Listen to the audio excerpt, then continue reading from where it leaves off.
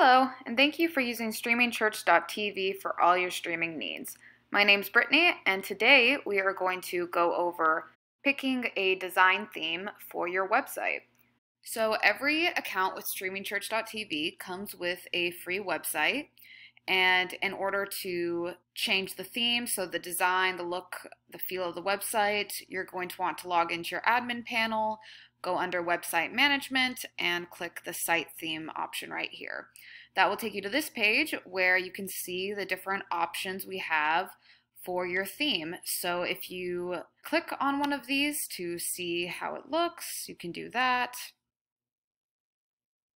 So this is showing the basic design for the template. So you can see this is just the demo information in there and you can change all of the images, put your content in here, then the main navigation. All of this main navigation you can see here is determined by the page manager.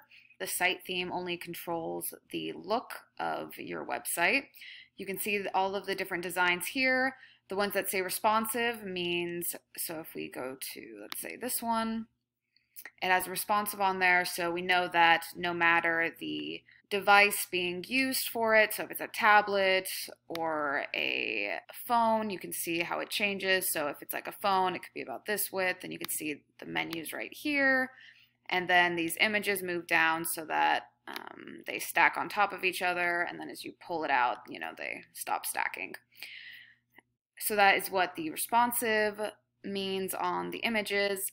And once you've selected your theme, all you do is check the checkbox and click the Select Design button.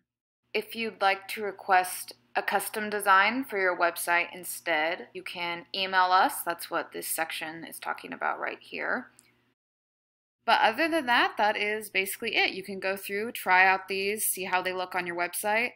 And to change the content and like I was saying before, the menu, you can go to the page manager where we have another help video to help you through that process. If you have questions on this or anything else, feel free to email us at info at streamingchurch.tv or you can go to our website and use our live chat box located right here. Thanks.